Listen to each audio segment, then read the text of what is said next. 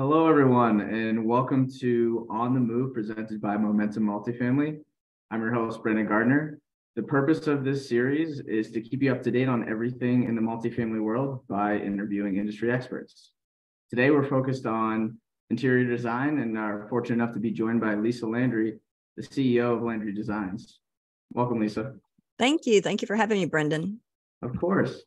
Uh, so why don't we get things started by having you tell us a little bit about your business and how you got into interior design?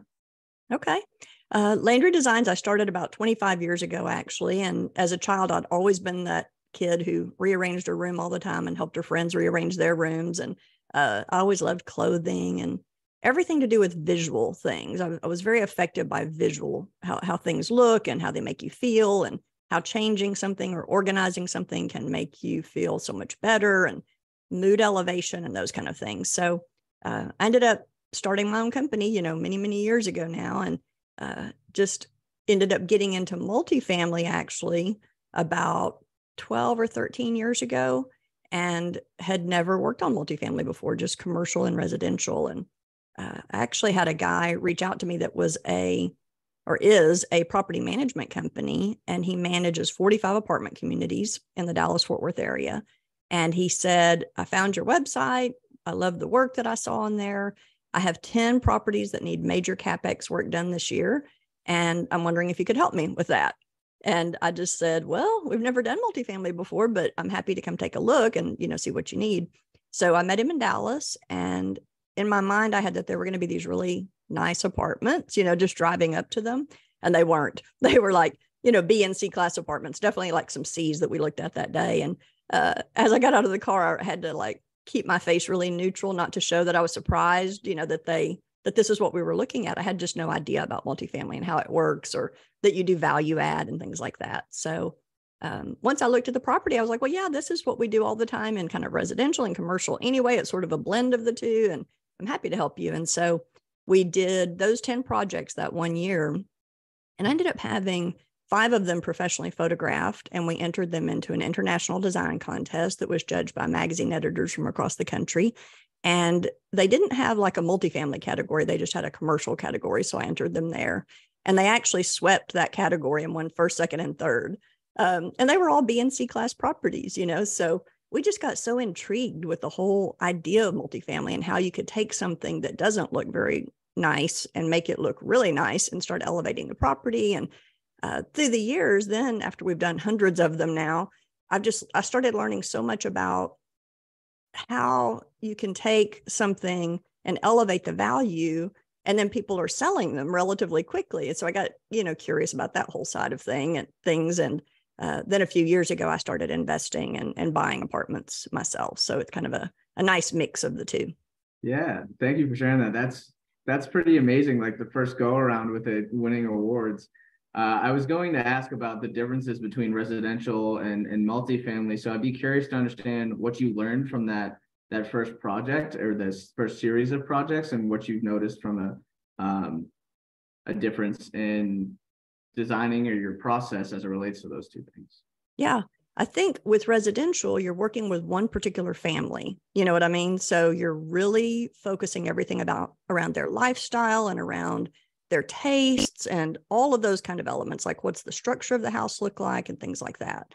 Um, with commercial, it's completely different because, and not even talking about multifamily, but just with commercial, you're working with a team of people typically that are working in offices and maybe they have a lobby and they run their business out of there. With with multifamily it's a blend of the two because it's almost like you're walking into someone's living room when you go into the lease the leasing office with a home office in there or something. So it's kind of a combination. But we're really looking for different things with multifamily. We're trying to figure out what is the tenant base of this community and how does that need to feel? And what would make them feel comfortable? And what is the business plan? Are we trying to elevate the tenant base? What's around it? What's the surrounding community like? What are the surrounding properties like? What what's the competition?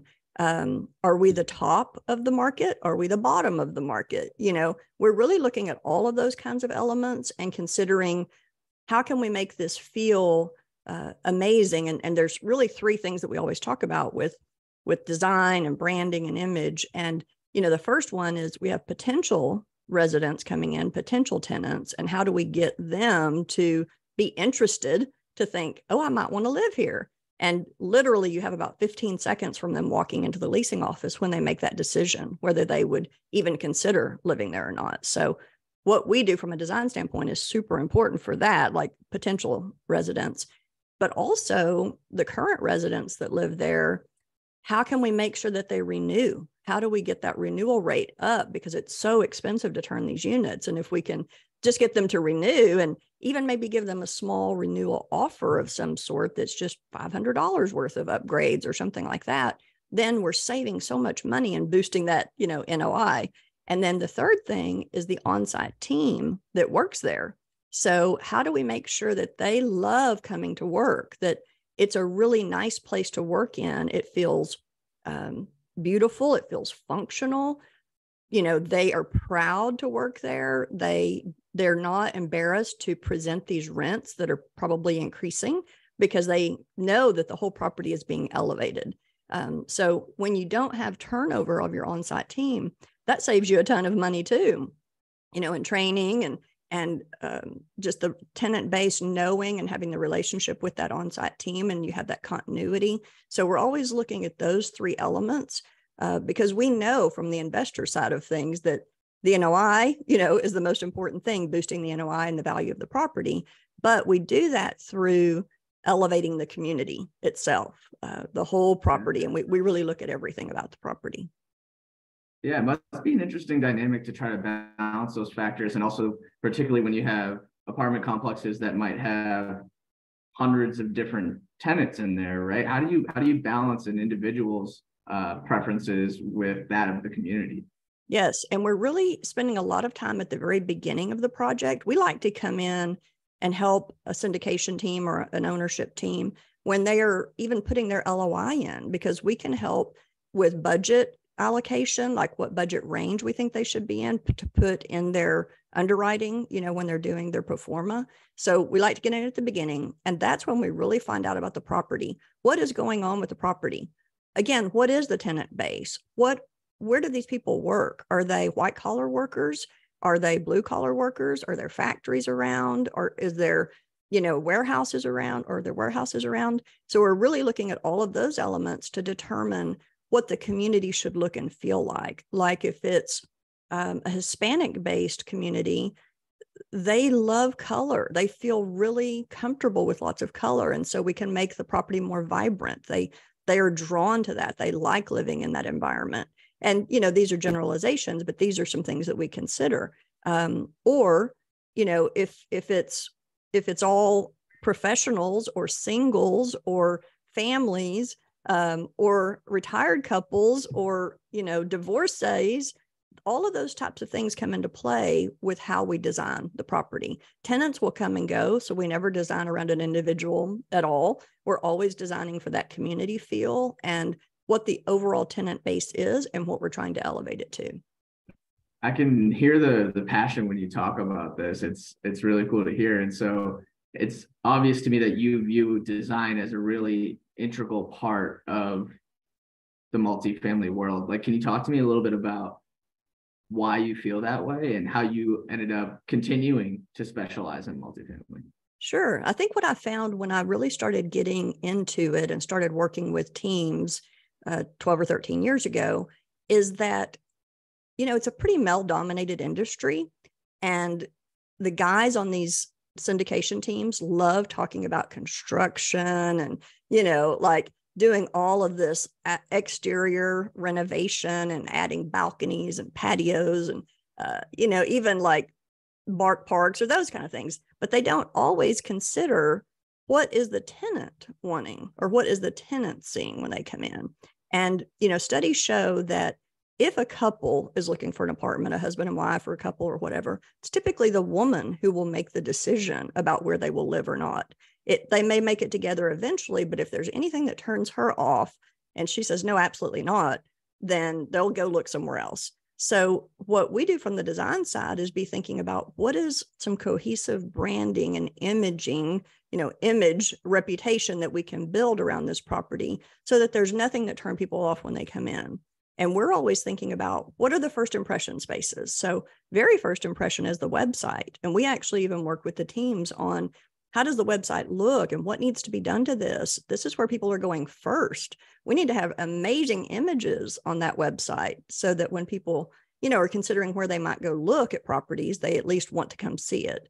So that's kind of the first thing is the website. Then the next thing is really when they pull up to the leasing office. I mean, can you find it easily? Is the signage good? The navigation signage good where you can find the leasing office? Does everything look super neat and clean driving in? Like, is there any barrier? Is there trash? Is there, are there dumpsters that are overloaded?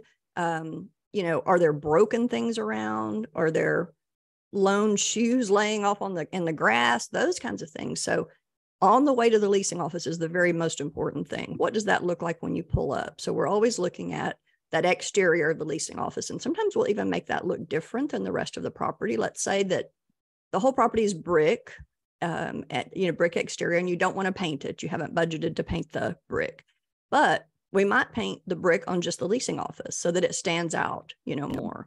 So when people come up, what does that look like as they walk up, drive up? What does the signage look like right there? When they come up to the uh, walkway, is it super neat? Has it been power washed? Is it, you know, swept?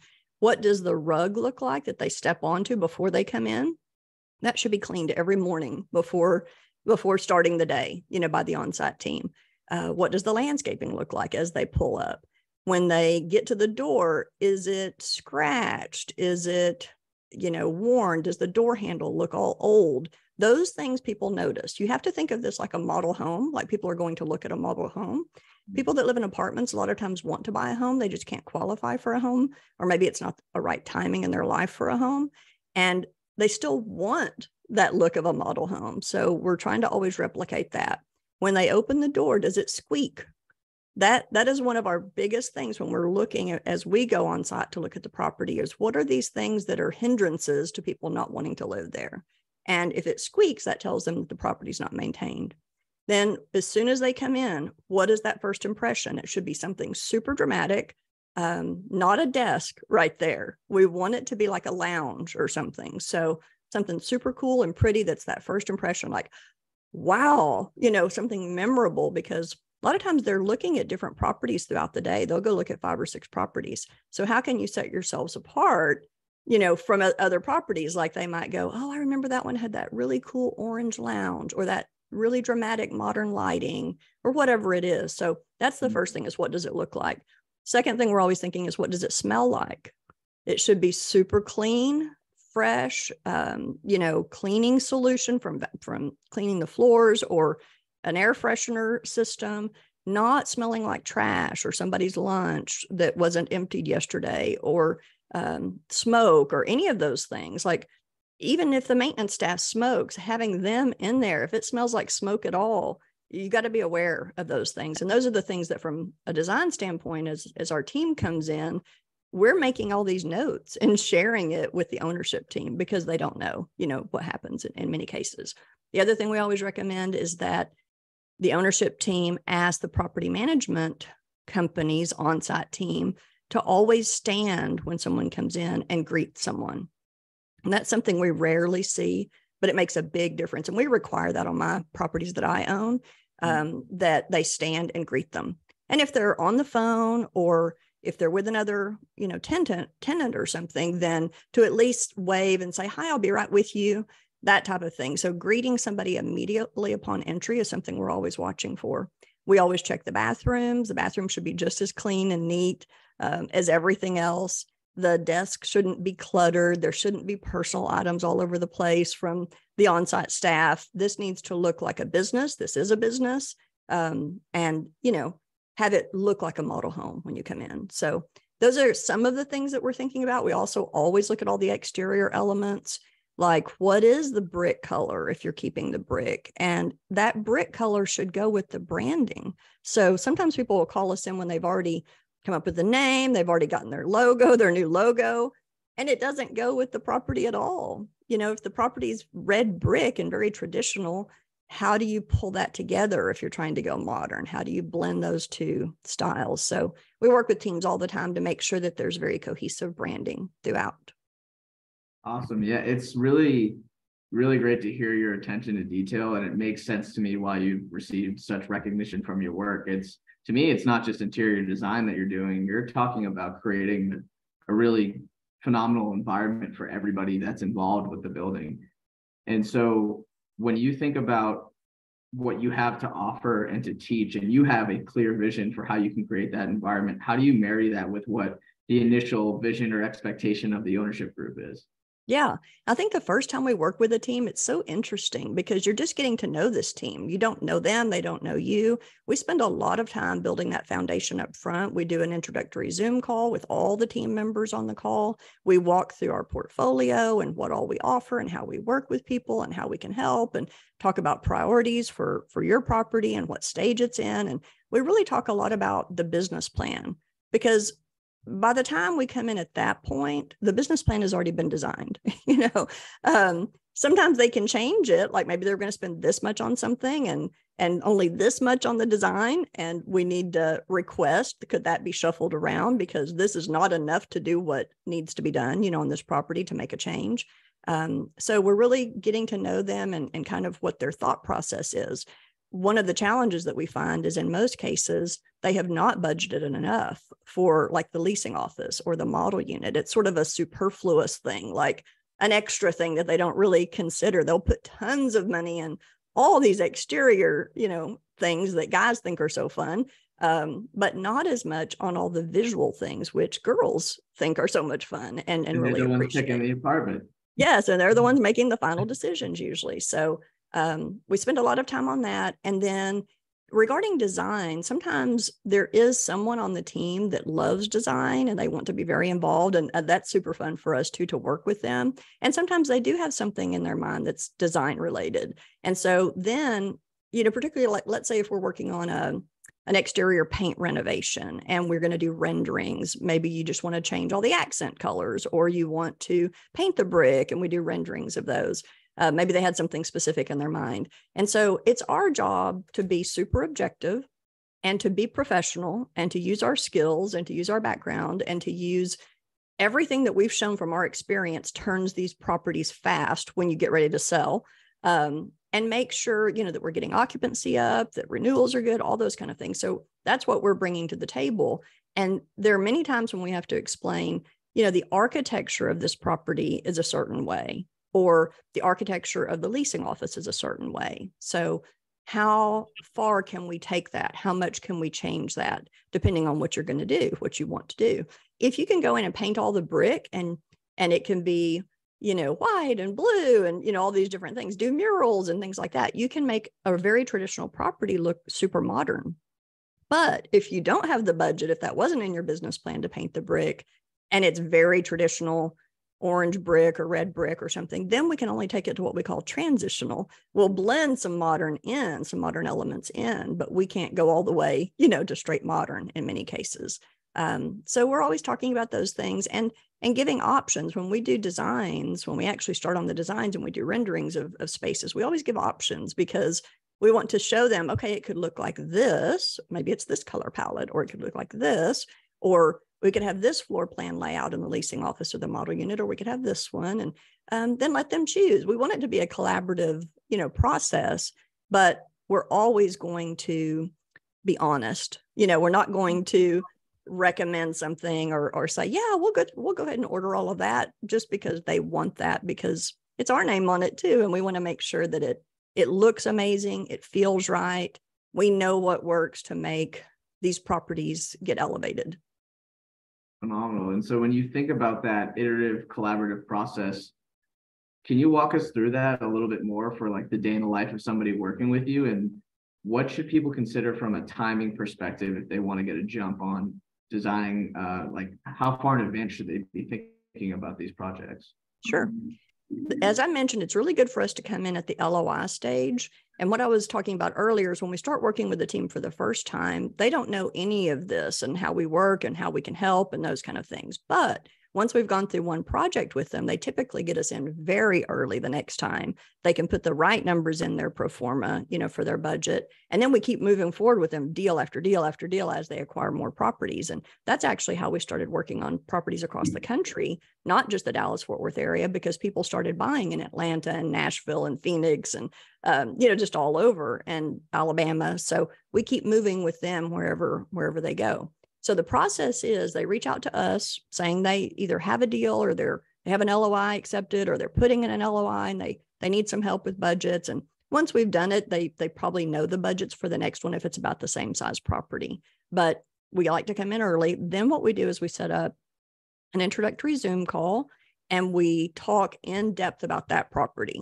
And we we study the website, we're looking at everything about it, like what are the amenities on the property already? What are you thinking?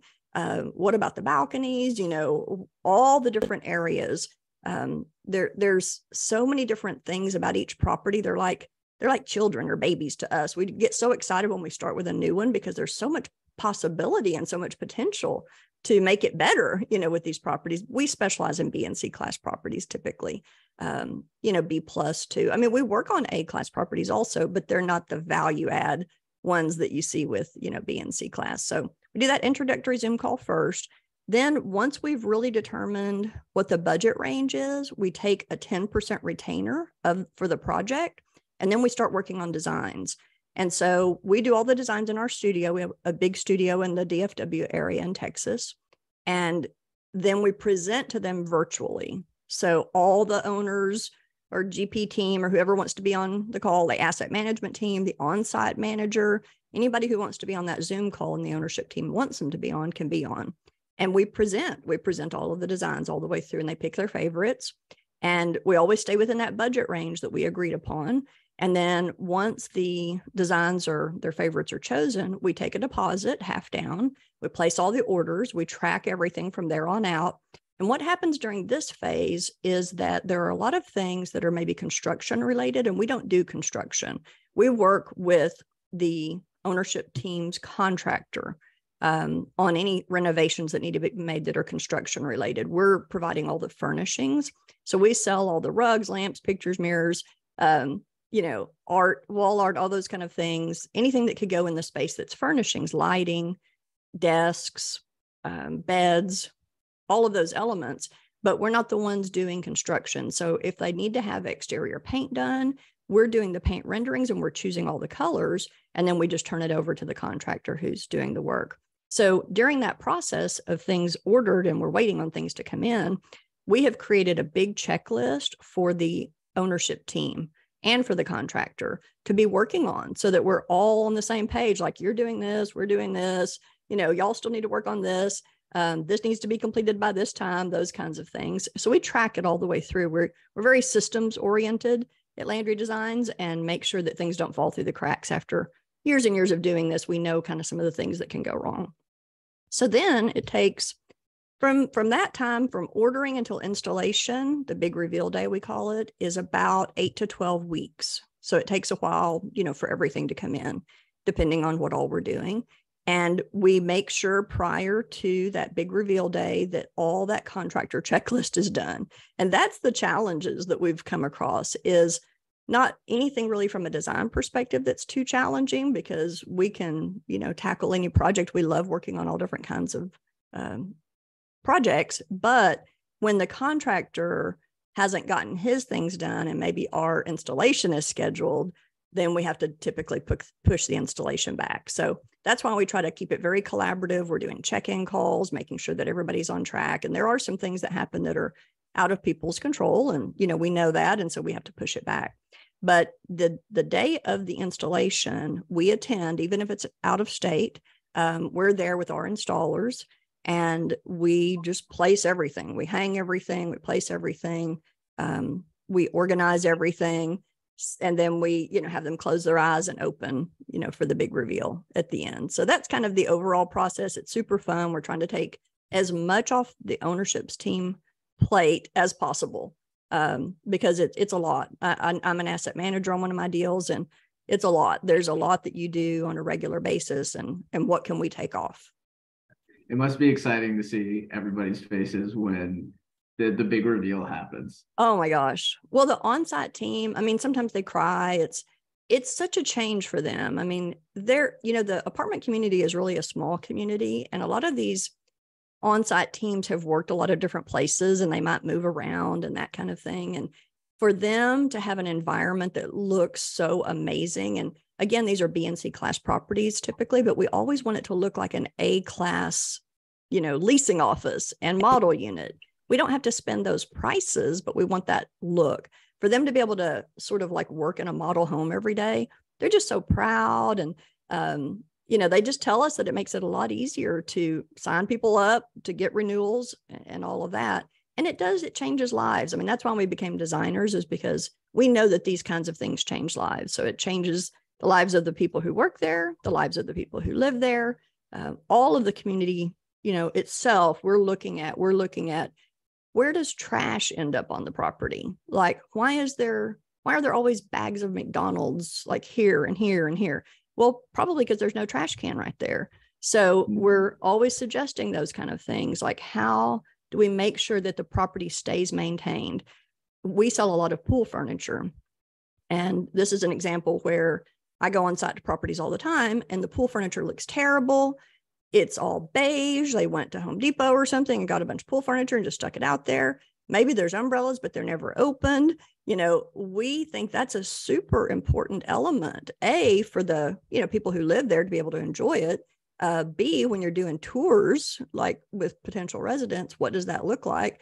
And then C, the website. We need that picture for the website to look amazing and it needs to look the same, you know, in person. So I always recommend a lot of color around the pool. And the on-site team, we have a checklist for them after we do the big reveal. Like, you know, first thing in the morning, obviously y'all need to do trash, like walk and do trash every morning and make sure that that gets done before even working on work orders or anything like that.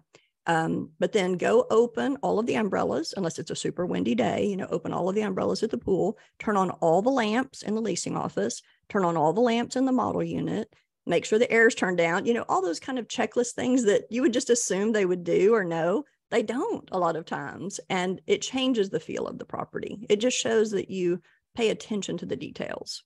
Yeah. And as you talk, it's very clear that your experience as a property owner has really informed how you consult around design. What was that journey like for you to learn as a property owner and then take that to your design business? Yeah, I think when I started looking at investing, the thing that I learned that I didn't know was about NOI. You know, I, I just really didn't understand that I couldn't figure out why they would buy them and sell them so quickly, you know, and, and it's really because you're elevating it. I didn't know they were valued differently. Um, I didn't know that they're valued based on the NOI, the net operating income, versus like residential is, you know, where it's comps and things like that. So I, I actually went to what I call YouTube University and started listening to a million, you know, uh, videos and podcasts and all, all those kinds of things and learning all the technology and terminology and um, just everything kind of behind the scenes that happens that I didn't really know from the design side of working on it for at least 10 years and just got super interested. I ended up going to a mentorship program, went to conferences across the country, and just learned as much as I could, read books, everything that I could absorb about multifamily. And then it sort of was like an aha moment, like, oh, now I see why they're selling so quickly. It's it's such a it's a business and it's such a quick turnover, but we do have to make sure that you know the community is taken care of at the same time. Uh, like, what kind of events are you having? what kind of newsletter are you sending to your tenants these are all things that i think now i bring more to the table um, and my team gets trained on all of these things as a as a business owner as a multifamily owner versus just being a designer. Yeah i can imagine that's a huge uh, differentiator and a huge value add to those that you work with. Uh, so on top of all of that how do you stay up to date on design trends and best practices and everything that's changing within that industry too to then take that back to your business? Yes we have a team meeting an all team meeting at landry designs every week and uh, we do lots and lots of training there. So we're studying everything in design constantly. We're looking at what are the fashion trends in clothing? What are the car color trends uh, car interiors, all those kinds of things. We subscribe to lots of different design magazines. We're going to market. We have vendors come in and do trainings, and we're always looking at what's the newest and and even technology, like you mentioned. We're constantly upgrading our technology and our systems. And you have to, in this world, stay ahead of the game or you're behind. And so we're very committed to, uh, you know, stay ahead in technology and and making things, you know, run very smoothly and again catching anything that falls through the cracks and changing our system for that the next time. So we're always pivoting. We're very um, committed to you know being as close to perfect as we possibly can in our industry. Yeah. And one of the themes that i hear commonly is around eco-friendliness and sustainability being green. Uh, i can imagine that factors in pretty heavily to what you consider. It it can. Again it depends on uh, what the business plan was for the property. Uh, you know, one of the things that we say a lot of times is when you buy something a little bit nicer, you know, it lasts longer. So buy nice or buy twice. And when you buy twice, if you if you put something in, like a lot of times what happens is people will buy a property, someone will go and buy some stuff and put it in the leasing office and they think it looks okay. And it does look okay. It doesn't mm-hmm. look amazing. It's not going to be something that looks great on the website. But if they've already done that when they call us in, then we have to come in and redo things. And then those things typically, you know, go to someone else or, or whatever. So you're you're buying more and the world is having to produce more and things are going into landfills more. So mm-hmm. we're always aware of, of that is how do we make sure that you only do it once and do it right, you know? And then the second thing is not having things too cluttered, not not buying more things than you need, not having accessories everywhere. Um, we want things to be neat and clean and sparse and fresh and easy to maintain. So we're always thinking, you know, from that that side of things as well. Yeah, I uh, I say a similar phrase. It's funny people can't afford to do things the first time, but they can find a way to afford it the second time when they don't. Yeah. You know. Yes. Yeah, we, we want to make sure that every dollar that you spend going forward is the correct dollar, that you're not wasting money on something. And even paint. I mean, that sometimes people call us in when they've already tried to do exterior paint on their own. And they're like, this color is just not right. We can't figure out what's wrong. And we spent all this money now and it's terrible, you know, that those kinds of things. So we we like to be part of the team at the very beginning and we're here to help build the ownership team up and the property management company. We work with them you know as well. We're help, here to help build everyone up and and let everybody do better and and enjoy their you know their multifamily life. Yeah and having the perspective of the owner and the designer i can imagine you've heard every common mistake and misconception and now can probably understand where people are coming from. Can you talk to us about some of those? I really think it's like what I mentioned about people not thinking that design is that important um, in multifamily. And, you know, from our perspective, it's the most important thing. It's the first impression of everything. So, um, you know, there are many times where they just, they'll spend a lot, a lot of money on things that are not very visible and not the money where people see it. Mm-hmm. Um, and I do think it's important to do things like LED lighting around the property so that you know people feel safe when they come in at night. And we're always looking at even like when you walk to the model unit th- this is very common when we go to a property we'll walk to see the model unit that they currently have or one that they're considering and the breezeway is filthy you know right there. The front doormat to that model unit is filthy. The doors all dented and you know things like that. And uh, the stairs are filthy when you start walking up the stairs. So how can you you know avoid those things and make sure there's no again barriers to entry for people that are coming to look at the property. Um, again the trash around the property all all those kinds of things it just seems like people get immune to it. They don't see it anymore the people that work there. Mm-hmm. and that's that's what we're trying to point out. And and typically the the ownership team is not there. They're they might stop by every once in a while and, and maybe they don't even live in the area but if you're not there daily and, and we're there very frequently during this process you're not hearing what are people saying when they come in what are these potential residents saying what what is the on-site property management company saying in response to these questions we hear all that they sort of forget that we're there and yeah. so we hear a lot of what happens when the owners aren't there and that's our job is to share that with the ownership team. Absolutely. I want to hear more about some of the outcomes you've helped achieve with with everybody because really this again this attention to detail is amazing.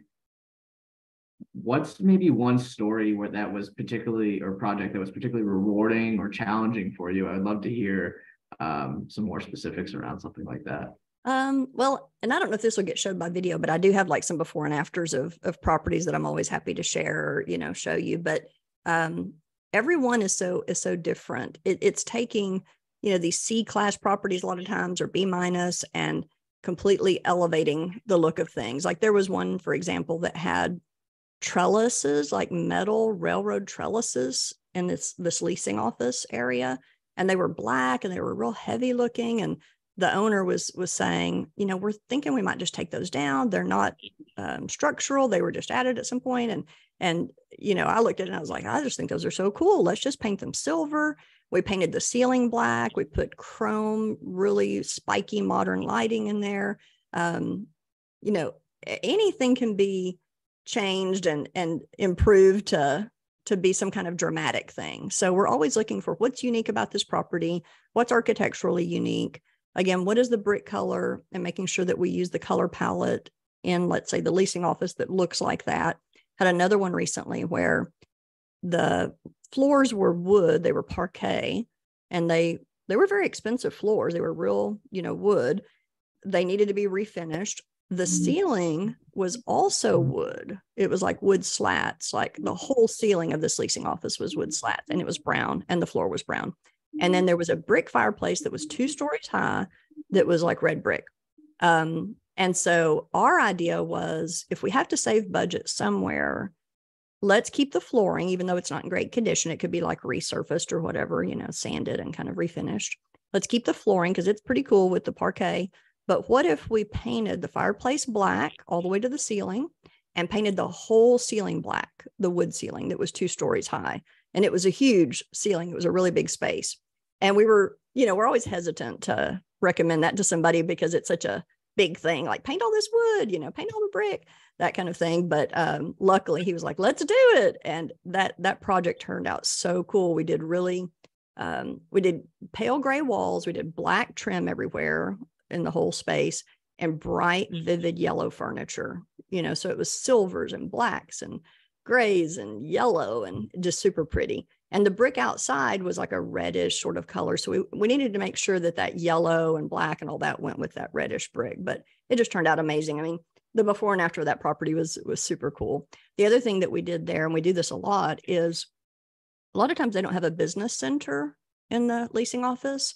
And it's not even that you necessarily need the business center, but it is an amenity to list in your list, you know, to add to your list and to show on the website. So they had this one little area that was like a a little niche sort of, and they just had a couple of chairs in there with a little table, and it was just boring and nobody ever used it. We asked, we always asked, does somebody ever sit here? They're like, no, nobody ever sits over there.